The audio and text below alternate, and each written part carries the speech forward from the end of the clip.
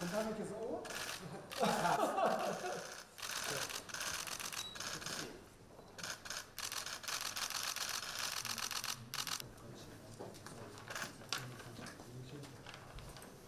Always the type of